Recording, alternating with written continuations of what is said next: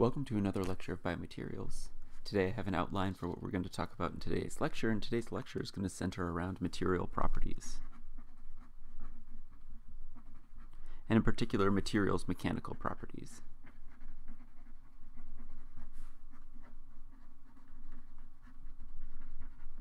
So why might we care about mechanical properties? Well, in the previous lecture we talked about stress and strain,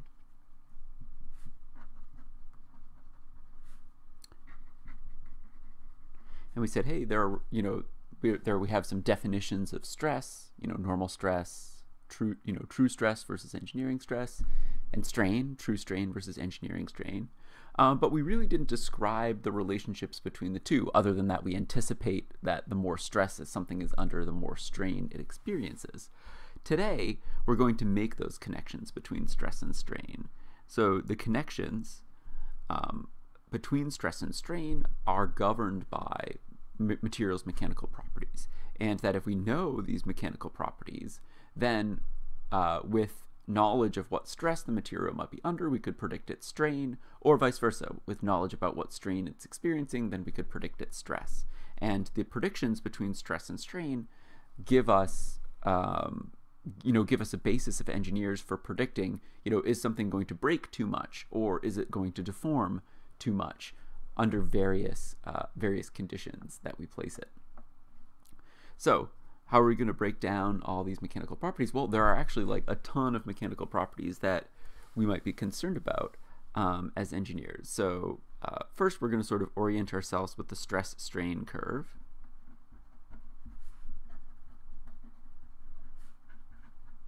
And I'm just going to give an example stress strain curve just so you can sort of see for one particular material. Then I'm going to briefly discuss how uh, how it's obtained right? How might you know these stress like it's not like the clouds open up and Professor Lannin's face pokes through and says, "This is the stress strain curve for titanium," and then the clouds close up back up, right? That data came from somewhere. So how might we actually obtain a stress strain curve experimentally? Uh, then we're just going to go through a whole slew of mechanical properties that we might care about. So the first we're going to talk about is the Young's modulus. which has another name, the modulus of elasticity.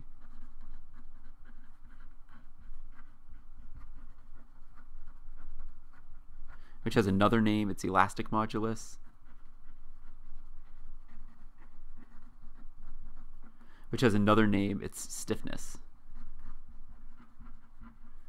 And uh, and just to get just a heads up, we're going to need to be very precise with a lot of language that we use um, in this class. So, you know, words that you might have uh, or, or your non-engineering colleagues might have historically kind of swapped out strength and stiffness and toughness um, and resilience and things like that. Um, you know, all of those sort of qualitatively might strike a similar feeling um, to non-engineers, but as engineers, these all have precise uh, precise definitions, and they and they mean quite different things in terms of how they parameterize the stress-strain relationship. We'll of course, um, hash out these precise definitions today. Uh, the next thing we'll talk about very briefly is the shear modulus. Then we'll talk about Poisson's ratio.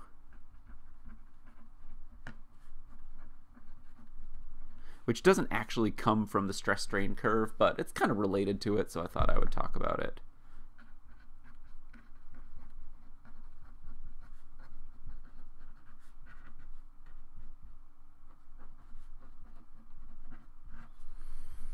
Uh, then we'll talk about um, the yield strength.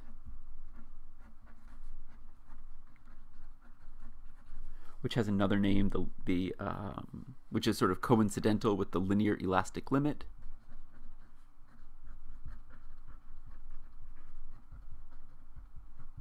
or the proportional limit.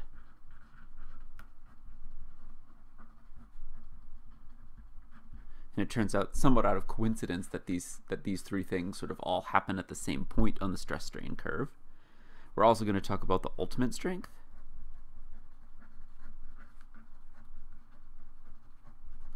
and the fracture strength.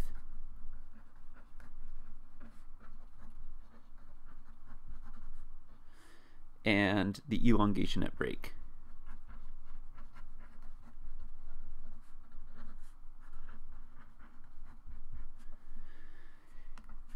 We'll also talk about toughness and resilience. And when we talk about toughness, we'll actually uh, we'll sort of talk about ductile versus brittle materials.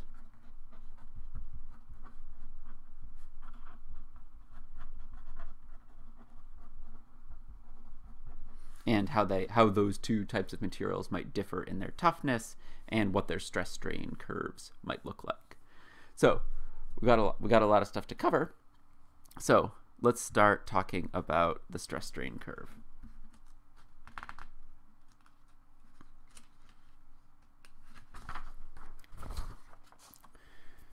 So we anticipate that when we are placing a material under stress, the more stress we place it under, the more strain it undergoes. And when we think about a stress strain curve, we're essentially just plotting those two against one another.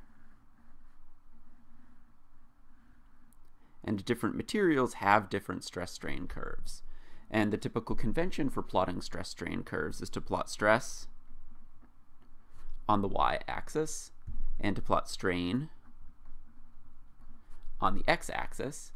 And by you know by plotting stress versus strain rather than for example like you know force versus delta L or something like that we've now made this made this relationship sort of invariant to the exact type uh, chunk of material that we looked at right? So for example if I had a chunk of material that looked like this versus a chunk of material that looked like this as long as these two things were made of the same material you know, one the thicker material might require more force than the smaller material to deform, but both of these materials, as long as they're made, for example, from the same type of plastic or the same type of metal or the same type of tissue, both of these will have the same stress strain curve. So when we think about stress strain curves, we plot stress versus strain, and you can imagine that when I have uh, when I have a material and I'm placing uh, and I don't, you know, I haven't placed any strain on it at all, then you know, uh, it's it's not experiencing a state of stress at all. Then you can imagine as I start to take this material and stretch it out a little bit, I'm you know I'm I'm I'm uh, imposing more strain on this material, and the more strain I, I impose on it, the more stress it undergoes. Right? It's just like you know you have a spring or a rubber band or something like that you know, takes just a little bit of force to stretch it a little bit, but if you stretch it a lot, it takes a lot more force. And stress and strain are proportional to one another for a little while. So this, these, these two things start out proportional to one another. But after a little while, um, it, it starts to flatten out a little bit. Again, not all material not all materials have a, have stress strain curves that look exactly like the one that I'm sketching here, but enough materials do that it's it's worth uh, you know it's worth sort of characterizing many materials this way. So they remain proportional to one another for a little while, and then uh, and then you know the stress starts to kind of level off a little bit um, as the strain as the strain strain continues to increase, uh, and then eventually actually that stress goes back down, and then right here. And if you were to think about what happens right here at this sort of last moment of strain, this is basically where the material actually fractures into two separate pieces. So if we take out our Play-Doh,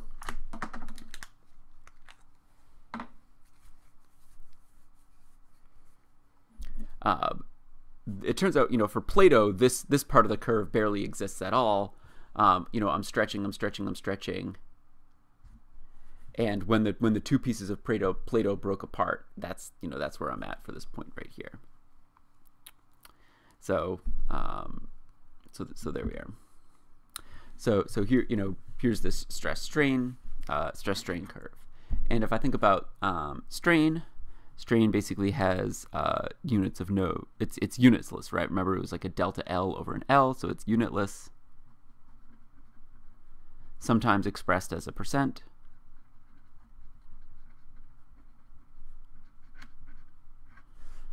And stress would typically have uh, would typically have units of force uh, force over uh, area. So, for example, um, it might have units of pascals, if we were in SI. And this this particular curve right here, um, if we if we sort of actually put put real you know real actual numbers on the x and y um, axes, I kind of dis distorted the curve just a little bit, but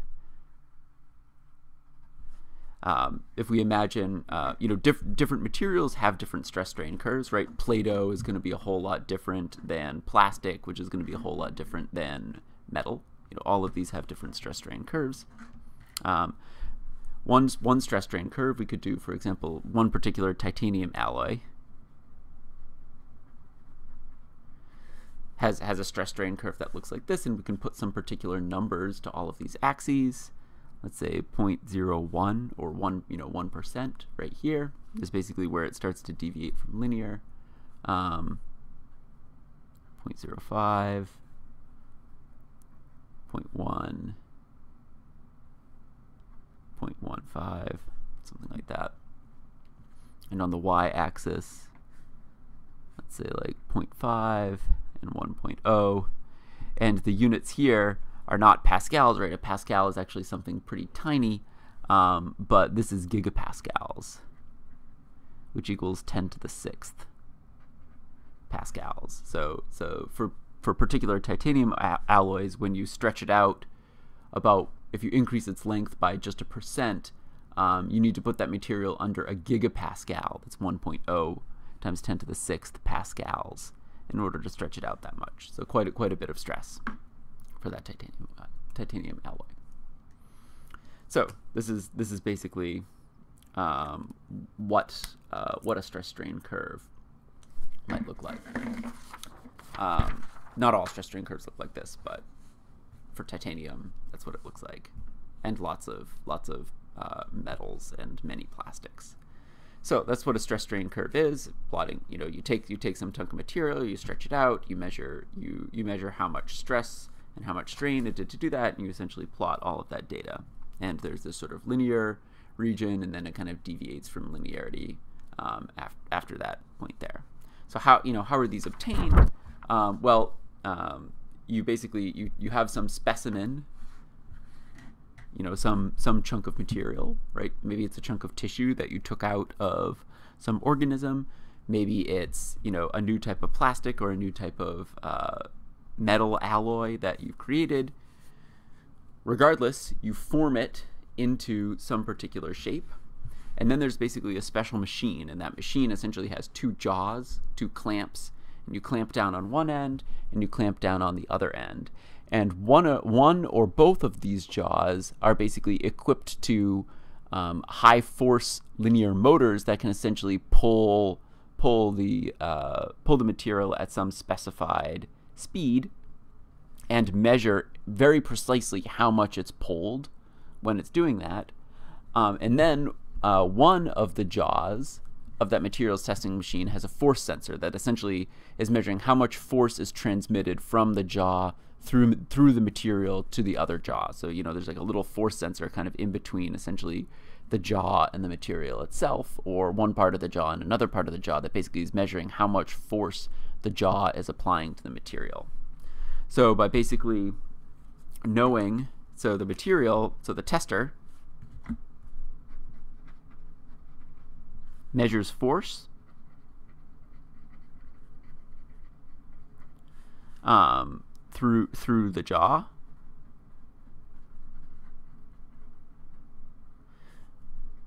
It also measures displacement, i.e. delta L. Right? Remember the change the change in length for the material, right? So we can measure force, right? F, measure, uh, and it measures the displacement, and then if we know the cross-sectional area, right? If we, you know, if we know, you know, how much area that cross-section of that specimen had, for example, by taking a pair of calipers and measuring its diameter if it's, you know, a sphere or its side length if it's a, a rectangle or something like that. Um, we could know its cross-sectional area beforehand, for example, by measuring with calipers right? Those those little those little devices that sort of you know give a readout of what the distance between the jaws is, and we also know the initial the initial length, you know, which could also be measured with calipers or, or from how it's manufactured or just from the initial displacement between the jaws. Basically, if we know all of these things, you know, this gives us, um, you know, the force divided by the cross-sectional area would give us stress. The displacement divided by its initial displacement would give us strain. And beca basically, because while while the materials while the material tester is stretching out the material, it would be very challenging to sort of like keep running up with a pair of calipers to measure its air its cross sectional area continuously. Most of these stress strain curves that you'll see in um, in the literature and you know from um, you know from suppliers or materials testing websites, these are almost always given in terms of engineering stress and engineering strain. Basically, because it's really cumbersome to try to measure that cross sectional area continuously as it's changing, and to uh, and it's pretty straightforward to measure its initial length, and you know, um, so because it's it, it's straightforward experimentally to measure these values initially, um, it's easier to plot your stress and strain using their engineering engineering values. Um, so that's basically how um, how these things are obtained. And you know, you can get very fancy materials testers. You can get relatively cheap ones. We have one um, in our uh, in our um, undergrad education lab right here on campus. All right, so that's how that's how these are obtained. Now let's start looking at some characteristics of the stress strain curve here, and in particular, we'll look at sort of this first one, the Young's modulus, also known as modulus of elasticity.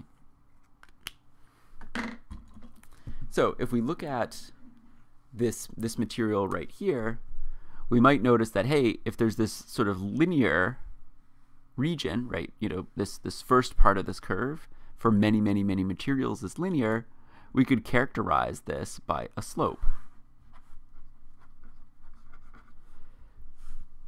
And this slope is given a special name. Spoiler alert, it's given the name of the Young's modulus.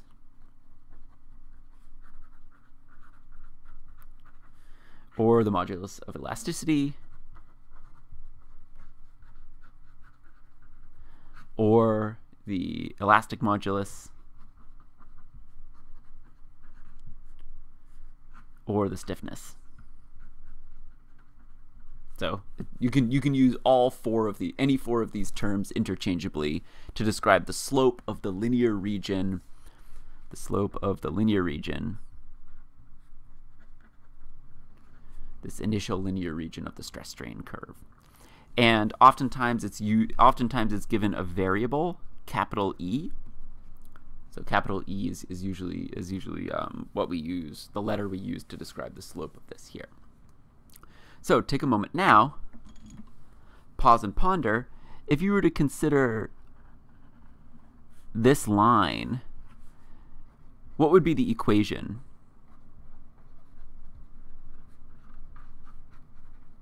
of that line. So pause and ponder. Well, hopefully we've had a chance to think about it, right? We could sort of imagine, you know, the equation of a line is y equals mx plus b, only instead of y, we would use our, we would have our engineering stress. And instead of m, we have this slope Young's modulus, E. And instead of x, we have engineering strain. And there's no y-intercept because at a value out of zero engineering strain, the material should be under zero stress. So it's essentially y equals mx plus zero, or just this relationship that we have here. So that's so that's what we can use here. So as long as we have a linear elastic material, um, and as long as we keep its strain and stress sort of below this point, you know, less than this point here where it starts to deviate, um, we can use this equation here. So this is basically valid when linear elastic and less than uh, less than what's uh, less than sort of this this point here, which spoiler alert is going to be the yield stress. So we can relate these two. And, you know, what better relationship than a linear one? So that's that's that's all these things uh, right here. Now, let's talk about the shear modulus. Well, the shear modulus is, is sort of related to Young's modulus, right? If you remember, um, you know, this essentially describes normal strains, right? This was a normal stress, stress, and a normal strain. If you remember, there was also shear stress and shear strain. So shear stress we oftentimes use the, the Greek letter tau for shear stress. And if you remember, uh, and you know, what, what does shear stress look like? Shear stress is, remember, if we look at something from the side and we apply, and we apply some force, you know, some forces that look like, we look, that look like this, you know, then that material ends up sort of deforming into a kind of parallelogram like shape and you can characterize you know the the amount of deformation that the, this material has undergone in a sort of shear way by sort of imagining this angle here. We could call it gamma. Um, so shear stress is basically proportional to shear strain. In the same way that normal stress is proportional to normal strain for normal stress and normal strain, the proportionality constant is the Young's modulus. For shear stress and shear strain, the proportionality constant is, well, you guessed, it's called the shear modulus. And that would be measured not with a not with a sort of tensile tester like this, but rather with some sort of device that can apply shear stresses and try to try to measure things that way. So, um, so just to give you a heads up, if you see shear modulus, it's it's describing sort of this relationship. And it turns out that for a lot of materials, these two are basically linked to one another. They're proportional to one another. So for, for materials that have a higher Young's modulus, they almost always have a higher shear modulus as well.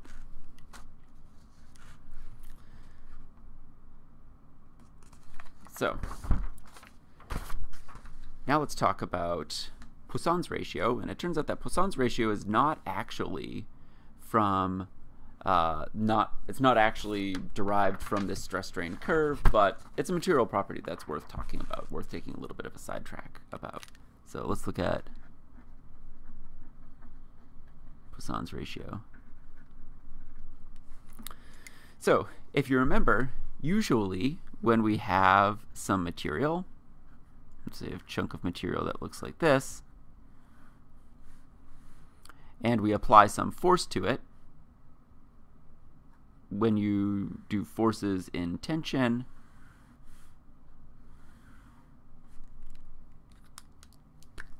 if we apply tension to it, it stretches out. And for some materials, for example, elastomers and things like that, we can say, hey, you know, volume um, volume is conserved. But, uh, and, you know, if volume is conserved, right, so if we go from here to here, if volume is conserved, then then you can basically use length 1 times cross-sectional area at 1 equals length 2 times cross-sectional area at 2, um, you know, to, to predict um, contraction to predict longitudinal or uh, to predict lateral to predict lateral contraction when experiencing longitudinal strain.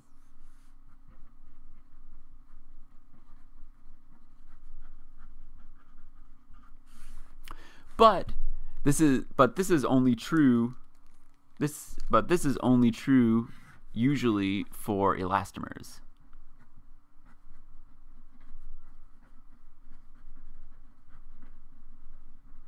i.e., like very stretchy stretchy polymers.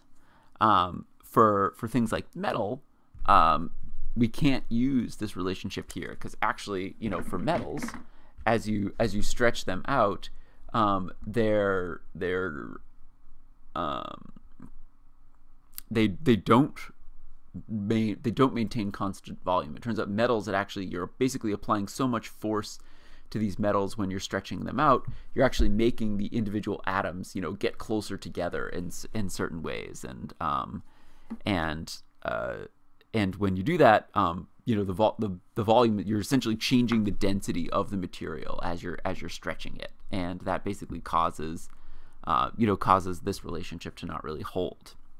So, for um, so for metals and many other materials, we need a way, you know, because we can't use this relationship, we need a way to predict. So you can imagine if I were to take take a plot and let's say put if I put the longitudinal strain on uh, on one axis and I put the lateral strain on, on another axis. So what do I mean by lateral strain? You know, basically you can imagine if I had some width here in state 1 and I had some width here in state 2, the lateral the lateral strain is equal to the width, the change in width divided by the width in the original state. And the longitudinal strain is equal to the change in length divided by the the original length. Let's say this is L1. Right. So, um, and and these these are of course I'm I'm using the engineering definitions of these right here.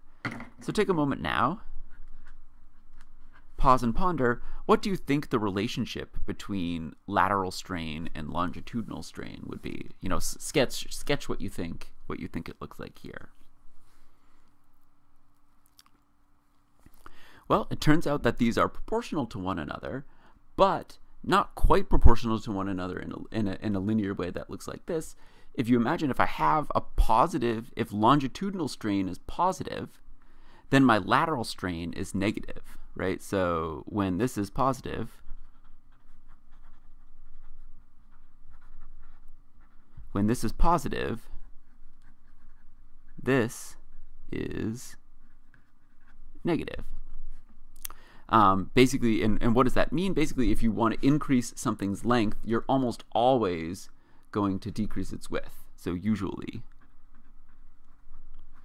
usually this is negative. And uh, so, so what you know, what might it look like? You know, you might have a curve that looks like this. So basically, goes through the origin, right? If I don't have any longitudinal strain, I'm almost all, I'm not, I'm, you know, it's I'm not really, it's not really possible for me to have lateral strain, strain in that sense. And the more the more positive I make my longitudinal strain, the more negative I'm making my lateral strain, right? The more I'm stretching something in one direction, the more it contracts in the other for most materials. Um, and it turns out that these two are basically linear with one another. And when they're linear with one another, you can parameterize them by, uh, you know, by having by having a certain slope. Oftentimes, uh, we characterize these two, uh, this the relationship between these two with what's called the Poisson's ratio. So Poisson's ratio is oftentimes given Greek letter nu it looks kind of like a V, but it's actually Greek letter nu. And it's defined as the uh, minus the lateral strain divided by the longitudinal strain. So basically, and this minus sign is put in here. So for most materials, uh, Poisson's ratio is positive. Um, because the sort of the the negativeness and their relationship is incorporated uh, here rather than within the Poisson's ratio itself. And uh, I'll I'll leave it as an exercise to the user, or, or or as an exercise to you if you want, So, you know, you could take a moment now, pause and ponder. What is Poisson's ratio for, for an elastomer?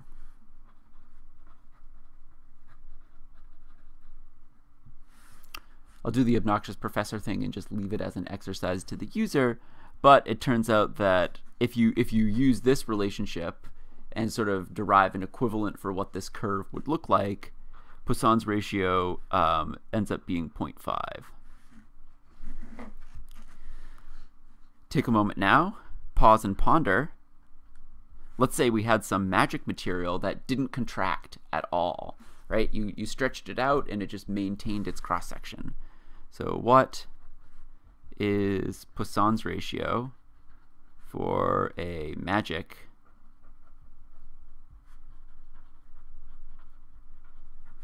a magic material that does not contract.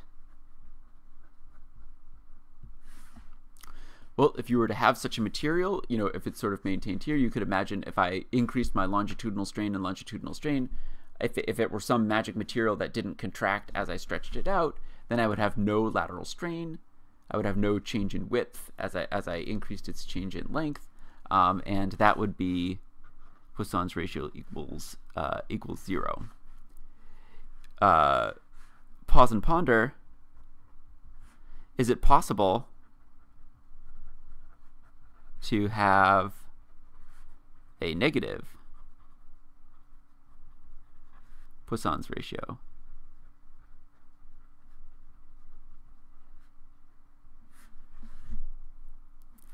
And the answer is yes, but only with really weird materials. Um, and basically, the, the those materials. Did you? If I don't know if you ever went to like the Museum of Science as a kid, and there were those like weird spheres that like were sort of made of a bunch of hinged components, and when you pulled when you pulled the sphere apart, it, the whole thing expanded as you stretched it under one way. So if you ha- if you could imagine linking a whole bunch of those spheres together into some weird material, if you stretched the material in one way, it would also expand in the other way. So only with weird materials that are like those weird kind of uh, hinged, you know, hinged truss-like globes that you get at the Museum of Science, only with those materials um, would you actually experience width increase when you increase its length. But for most materials, we're bounded between 0 and 0.5. And just to give you a little perspective, um, metals are usually between 0.17 is less than Poisson's ratio is less than uh, 0.33. So for most metals, you know, they're they're heartily in the middle of this uh, range here. I think steel is like 0.21 and aluminum is point um, is 0.3. So so that's that's where that's where they are. All right, so that's Poisson's ratio. Now let's talk about yield strength, the linear elastic limit, and the proportional limit. So to look at these next couple of properties, I'm going to sort of draw a really, a really big stress strain curve.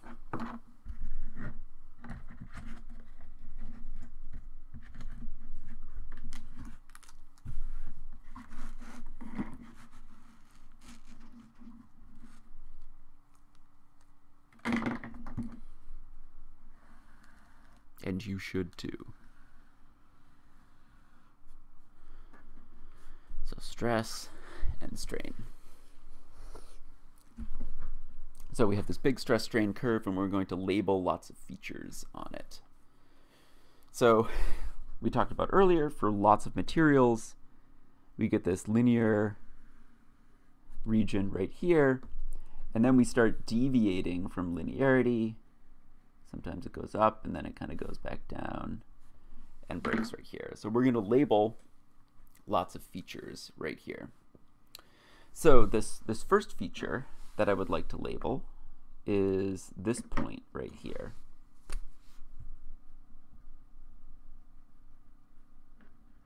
So we have this special point, And the stress that corresponds to this point right here is what I'll call the yield, the yield stress.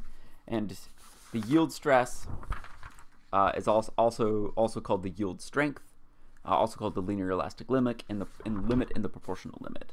So this the the the the y value of this point right here, you might call it the yield stress. You might call it the yield strength. You might call it the linear elastic limit. You might also hear it called the proportional limit.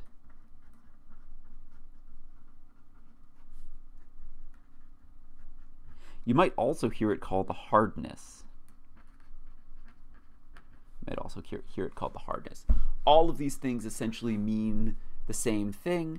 Basically, this point here where it basically where it deviates from linearity. So, what do um, so let's let's kind of characterize what's what's exactly going on in this region for this for the set of the curve. So let's say I have my paperclip here. Of course, this this these data would be obtained for a tensile test where I had some chunk of material and I stretched it, and then you know, you know, where where I was stretching it and measuring its stress and strain as I'm doing it, and strictly and uh, you know, for this paperclip, you know, you can imagine sort of bending it, but you know, essentially bending and stretching are are kind of this kind of kind of the same thing. Um, they they would sort of yield equivalent conclusions. So even though I'm bending this paperclip, you can just imagine I'm stretching it in a tensile testing machine. So what's uh, so what's what's the key thing here? So for this linear elastic region, and for a paperclip here, if I take this paperclip and bend it just a little bit, bend it just a little bit, not too many, but you know, not, not, not too much, but just a little bit, and let it go, it goes back to where I was. So if I bend just a little bit, you could imagine sort of going up this curve. And then, you know, if I sort of reach this point, I reach this point right here, and I let go, you know, when I let go, it sort of follows this path back down. So if I stay be below the yield stress, if I stay below the yield stress, the material returns to its original shape. Essentially, all of the strain goes away. And if all of the strain goes away, basically the material goes back to where it was before. So if I stay below the yield stress, the material goes back to where it was before.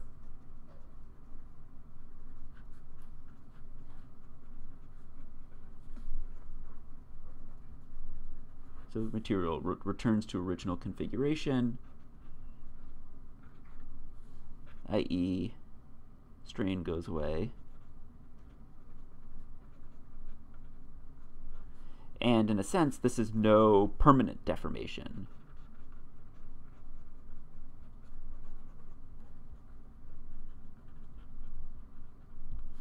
So why might we care? Why might we care about the yield stress? This is sort of an open-ended question. So just sit there, you know, sit for a moment and think. Why might we care about the yield stress from an engineering perspective?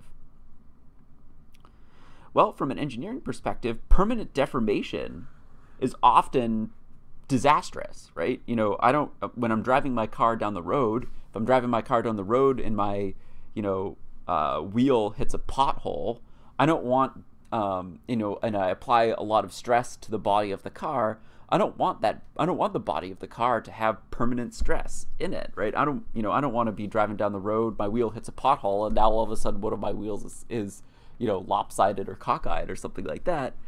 Heck no, right? So permanent deformation is oftentimes the end of it, right? Boom, you know, we're done. Like, forget about it. Your device is ruined once you have permanent deformation set in.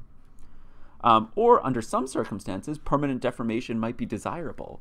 So for example, if you're threading a catheter through someone and they have an occluded artery, you might inflate that balloon to stretch out that catheter, or to stretch out a stent um, inside of someone's artery, and that stent might undergo permanent deformation. And then you might want that stent to remain permanently deformed inside that person's artery. You wouldn't want to just blow up the stent and then just have it return back to where it was, right? That would be the most useless stent ever. So under some circumstances, we don't want permanent deformation, and under other circumstances, we do want permanent deformation.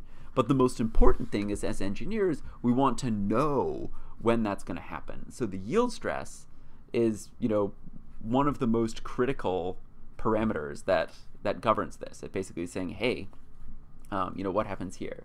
So under this circumstance, right, if I have this paper clip here, and I just I just give it a little bit of strain, right? I just give it enough strain, not enough to go all the way past this point here, but just a little bit, and then I let go, i.e. removing the force, I remove all of the strain. Now let's imagine a second scenario where I take this paper clip and I, you know, I encourage you to actually, you know, dig through your drawer, dig through your desk drawer, pull out some paper clips and play around with them in the same way that I am. So, so what you, you know, what can you do here? You can, you know, take out a paper clip. If you take another paper clip and stretch it a bit more than I did before, so let's take this one, and I'm going to try to bend it up here, let's say like 90 degrees, right? So this one I've bent, I've bent this one like 90 degrees, and then I let go. If you notice, it went back part of the way, but it didn't go back all the way right? So what happened in this second scenario, right, of this paper clip that looks like here, it looks like that looks like this one here. Well, for this second one, I'm going up, I'm going up, I'm going up. Now I brought it, for the second one, I brought it past its yield stress. So now, now I'm kind of tracing out this part. And right here, you know, this is, this is when it was bent let's say around 90 degrees. And then I let go. And when I let go, it didn't, unlike this one, it didn't sort of follow this curve back, but rather it sort of set out on a new curve down here.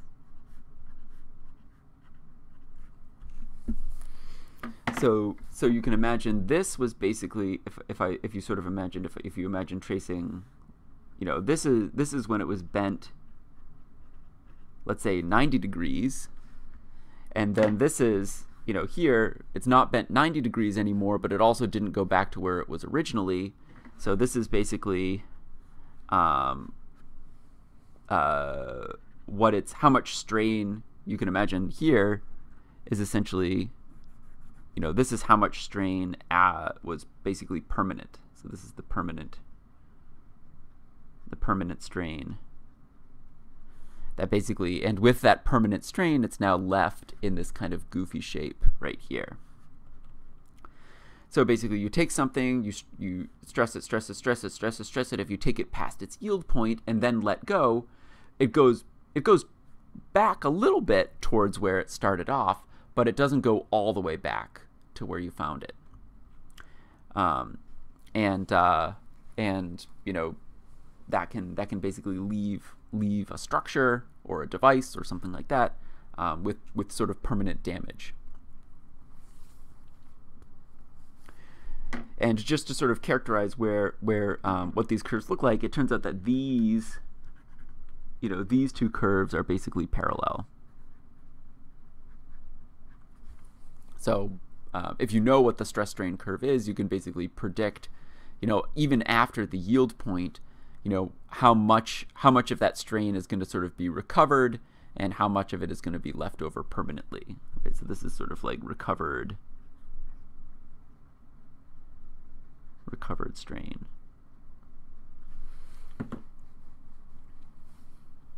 So this is the importance the importance of the yield the yield stress.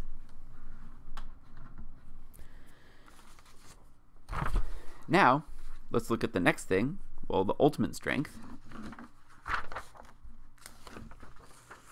So the ultimate strength, let's, let's just give, our, give ourselves a new stress strain curve here.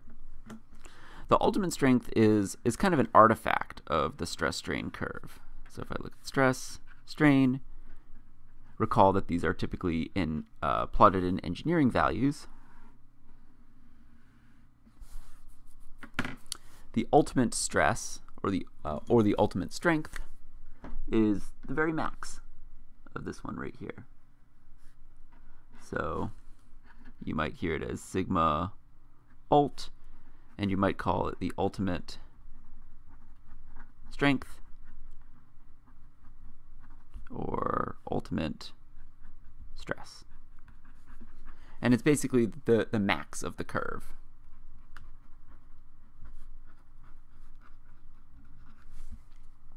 Now keep in mind that these are engineering values right here. So, um, so if you were to sort of plot true stress versus true strain, what you know what appears to be the ultimate stress on the on the engineering stress versus engineering strain, um, you know, might might be different, right? So recall that these are engineering values.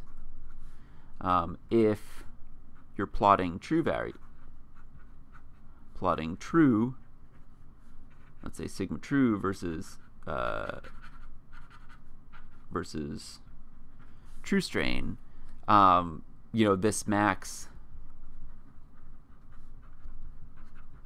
might not be apparent. And basically, you know, why why does this actually go down? Well, this actually, you know, this basically appears to go down not necessarily because the true stress is going down, but um, appears to go down because the cross-sectional area has actually decreased so much. Appears to go down mostly because because of two, uh, two reasons. Reason number one is the cross-sectional area is reduced, but plot is in engineering values. And and what do I mean by that? Well, basically like it's um, you know, you're stretching you're stretching something out and its cross-sectional area is increasing even though in in truth that last little thin strand of material that you've stretched out so much is actually supporting quite a bit of stress you're you're you're dividing that force that it's that it that you're applying to it by the original area. So essentially you're dividing you're dividing that stress by too large of an AC. So basically you're you're sort of underestimating the amount of stress that the material actually goes. Um, so cross-sectional area is reduced, um, but but again we're plotting engineering values, so we're sort of dividing by uh, dividing by too large of a number.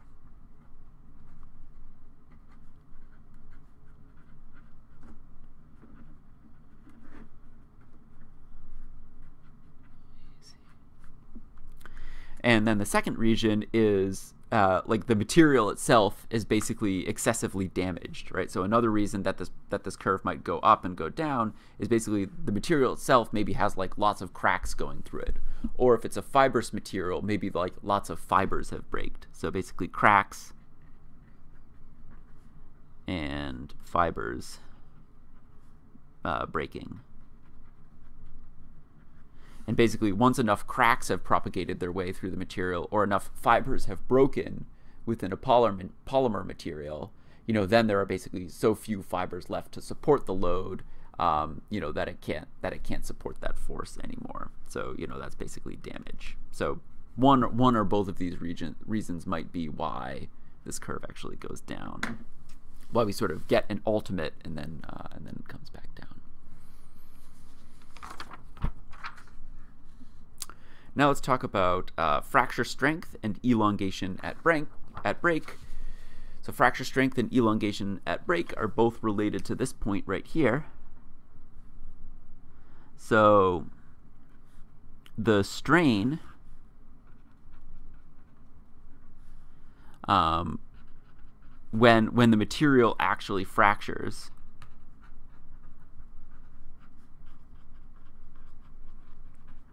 is elongation at break.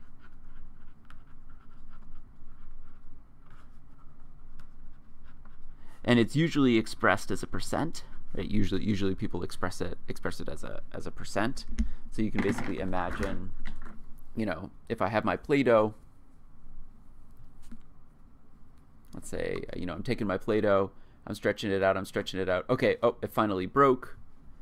Well, it finally broke I would say it's you know it's elongation at break you know, for, for this situation was, I don't know, maybe about 20%. If it, if it originally started like this and then I stretched it out 20% and, you know, then put the pieces back together. Okay. It's, it's, it's broke. It broke that much. Um, so basically, it, you know, the materials testing machine basically senses once the material, you know, once it's no longer supporting any force, and then it's saying, okay, how much how much did I strain the material when you know when basically the force just completely dropped off once once it fractured. Um, the and you could you could imagine that the stress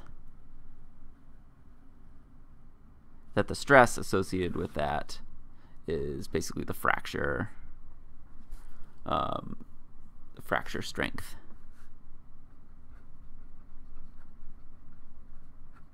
The fracture stress or fracture strength. But oftentimes this, this fracture strength is, is not not in an engineering context not usually a very useful value because you know usually such bad things have happened before you got to this point anyway. Um, you know, usually people care about like the ultimate strength or uh, or the yield strength um, and you know if once basically once you're past the yield strength and definitely when you're past the ultimate strength like you, you know you're done. Like you don't you don't really care about whether the material is broken or not because it's undergone such such radical deformation that it's that the device is basically useless at that point. Okay.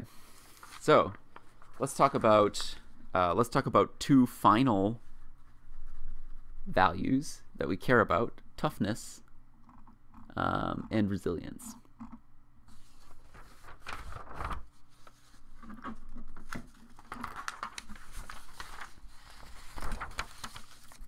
So let's draw another stress strain curve.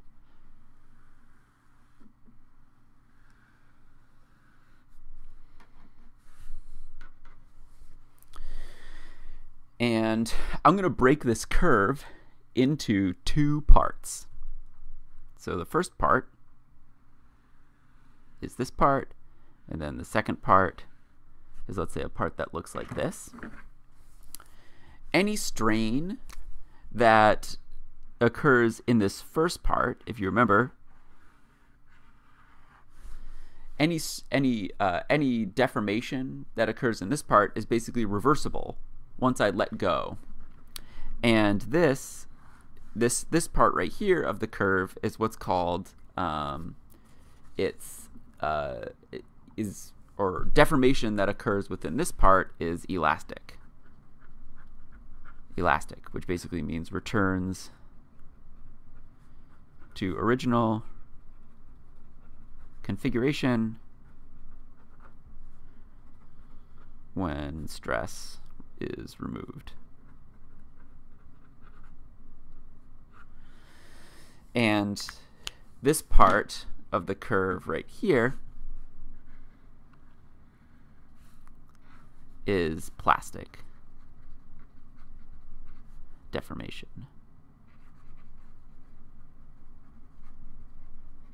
So this is elastic deformation. And uh, you know, one reason why we call plastics plastics is because a lot, a lot, a lot of plastics support, you know, support a pretty large range of plastic deformation before they actually, um, before they actually break. Um, so, you know, that's just why we call plastics. So, but plastics aren't the only things that uh, that can observe plastic deformation, right?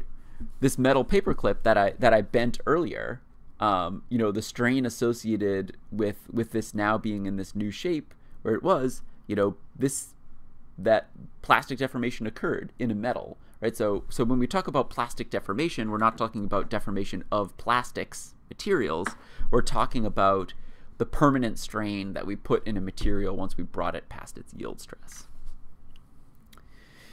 Now, um, we have so so these two these two regions, the elastic the elastic region and the plastic region, are going to be important for characterizing the last two material properties that we're going to talk about today, toughness and resilience. So,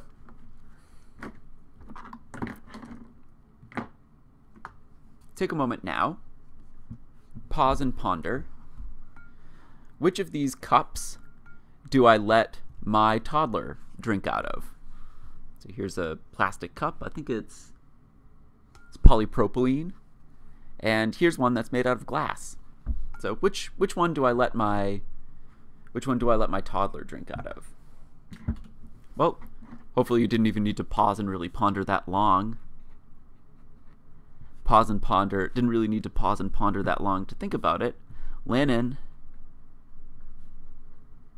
uh, Lannin lets his toddler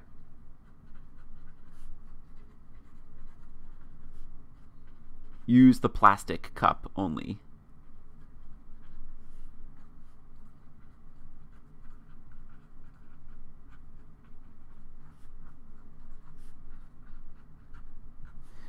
I let my toddler use the plastic cup only. Now, um, one thing you might consider um, is, you know, what what material properties, you know, what material properties are important, right? These, you know, the material properties of these two cups is what is, you know, essentially what, um, you know, what I was thinking about when I let my toddler use one versus the other. So, you know, what what are the important material properties in me deciding which cup to give to the toddler? So, pause and ponder. Which properties were important in choosing? In choosing which cup? Well, um, spoiler alert, toughness and resilience are going to be the ones the ones that I'm talk the the ones that I was thinking about when in giving this uh, when when choosing which one. So it turns out that if you look at it, um, you know, at a for a, for a naive approach, you know, a, a naive approach, you might say, hey, you know, which I I might want to choose whichever material had the largest yield strength, right? You know, if these toddlers, right, toddlers are going to be really rough on their cups that they use, they're going to abuse these cups. The toddler, you know, you might say, hey, if I'm going to give a toddler a cup, I want to give the toddler whichever cup has the higher yield strength. But, so a naive, a naive approach, which, which would basically tell us to choose whichever has higher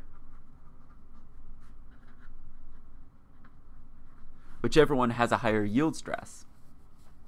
But it actually turns out that the yield stress for glass, for tempered glass, like this cup is made out of, is actually equal, about equal to 10 times the yield strength um, for polypropylene. So the yield strength for glass is actually 10 times the yield strength for polypropylene. Yet I still choose to give my kid the polypropylene cup. So it's not yield strength that's the important thing here.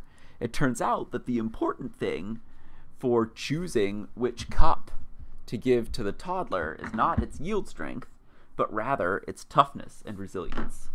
Now, what am I worried about with with the toddler using these cups? Well, I'm not worried about the toddler, you know, crushing it with her with her mighty fist you know, she's not that strong. The thing that I'm worried about with her is her dropping the cup onto the hard ground. So, when uh, when the toddler drops the cup, you can imagine the counter here and the hard floor here. When the cup gets pushed off the counter, it basically is falling down and it has some kinetic energy. It has basically some kinetic energy when it's falling, and then when it hits the ground, when that cup hits the ground, basically all of that kinetic energy needs to be absorbed, needs to be absorbed in deformation in the cup. So all Ke is absorbed by the cup. So if you imagine when I'm choosing whichever cup I want to give to my toddler, I'm not actually, you know, this the yield stress is certainly one factor that I care about a little bit, but mostly what I care about is when that toddler almost inevitably drops the cup and it hits the ground, I want the cup to be really good at absorbing energy. And the yield stress is only one factor that plays into absorbing energy. So basically when that cup is is you know striking the ground, um, that cup not not only needs to experience large forces, but it also needs to um, needs to sort of absorb that force through some deformation in the cup itself. So if you remember, you know when when if you dust off your you know high school physics or your um, intro mechanics or biomechanics notes, you'll know that energy can be sort of undone by work, and work is essentially related to force times distance. Right, so if we think of force times distance, um, basically, the when the cup strikes the ground, the ground is doing work on the cup in order to halt its kinetic energy, and that cup basically experiences deformation when the ground is doing work on it. And if we think about what these two axes here, the y-axis right here, stress, this is a force-like quantity.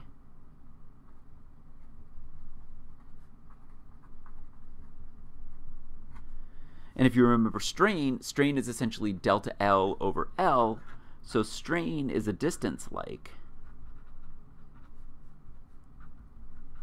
quantity. So we want the cup to not only be able to experience large forces when it when it crashes into the ground, but also be able to withstand large displacements when it crashes into the ground too, because both force and distance are necessary to essentially do work on the cup to absorb all of the kinetic energy that it built up during its fall. So we need both force and distance to do that. And in a sense, what do we need? We need this point here.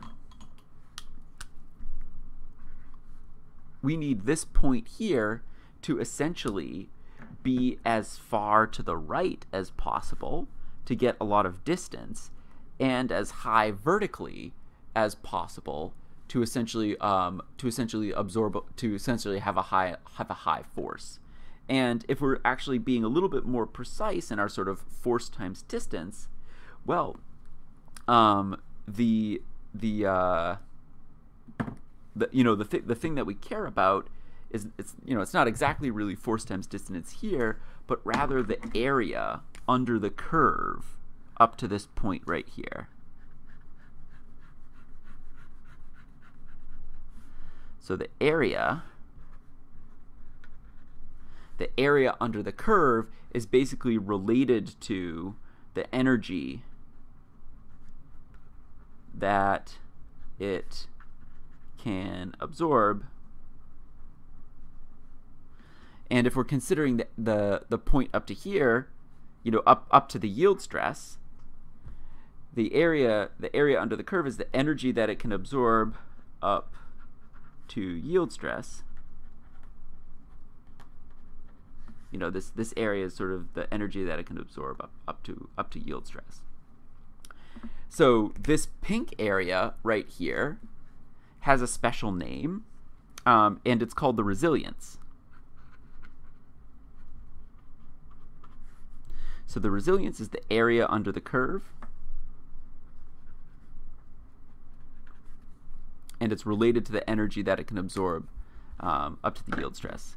So take a moment now, pause and ponder. What are the units of resilience?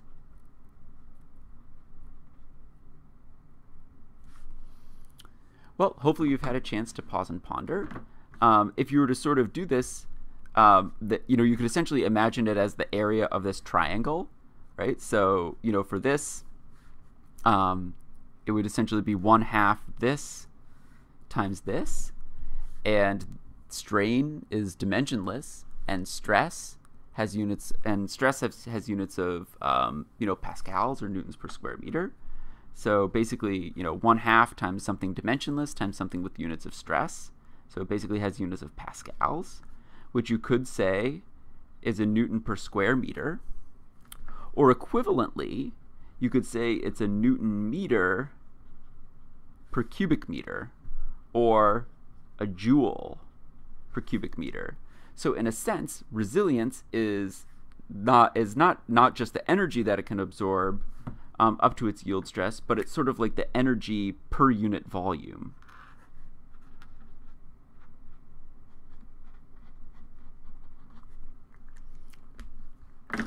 So for example, if I'm designing a bumper for a car, or a helmet for a bike wearer, or a cup for a toddler to use, resilience is a very important um, an important factor there because if I want this thing to be able to absorb energy in some kind of impact, you know, um, I can I can do so by having a material that has a high resilience, you know, or alternatively, I can do it by having a large volume of material. Just you know, by sheer volume, the material can just absorb a lot of impact, uh, absorb a lot of energy. You know, so the final thing that I want to discuss here is not just the area under this curve up to the yield stress right here, but what would be under some applications, I might care not not a, not just about the part of this area under the curve up to the yield stress, but the area under the whole curve.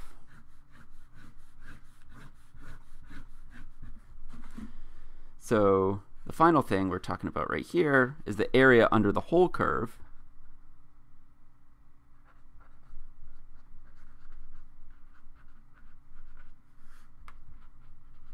The area under the whole curve is what we call toughness. And this also has units of joules per meter cubed, right? We're just, you know, instead of integrating just up to here, we're integrating the whole thing. Um, and so, so toughness.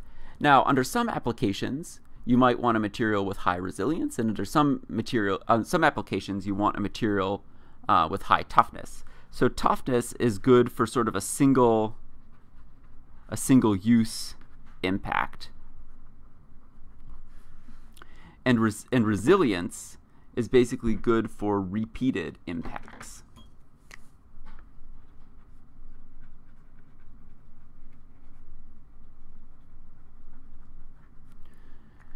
So, what you know, when might we care about toughness? You know, when might we, when might we have a single use impact? Well, a bicycle helmet, right?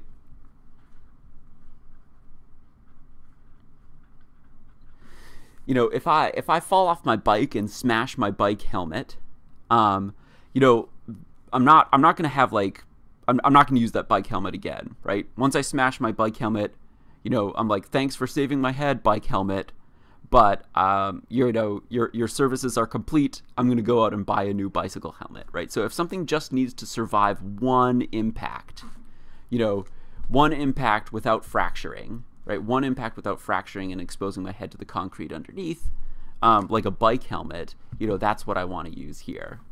But, you know, I want a material to have high resilience when it's going to experience repeat impacts, right? So, so an example here, you know, example of when, when something is going to experience re repeated impacts are, um, are for example, like the, sh uh, the shocks, in my car. Right? I want my car to be dri- able to drive over more than one pothole.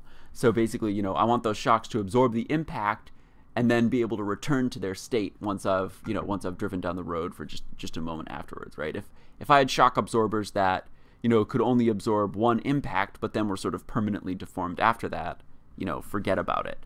So the shocks in my car, you know, they need to be able to absorb a lot of energy right? Those springs and the suspension under my car, they need to be able to absorb a lot of energy without permanently deforming if they're going to be able to to uh, to sort of take those impacts again and again and again and again. Whereas a bicycle helmet, you know, once I smash my head on that bicycle helmet, and in fact, you know, if you look at the manufacturer instructions on your bicycle helmet, it says, you know, if you're ever in a crash with your bike helmet, don't ever use it again. Throw that bike helmet away and get a new one. And, and a lot of times, even if you haven't, even even if you don't visibly see any cracks um, in that bike helmet, you know, if you if you smash your bike helmet, like, you know, it's worth the the forty bucks or whatever to go out and buy go out and buy a new helmet. Save your head because that bicycle helmet might have experienced permanent deformation and it might not be quite as tough as it is as it was the second time around. So, thus concludes our discussion of material properties in the context of stress strain curves. You know, we cared we we talked about all of these properties here. So, um, and I hope you found this lecture helpful and good luck with your study of biomaterials. Thank you.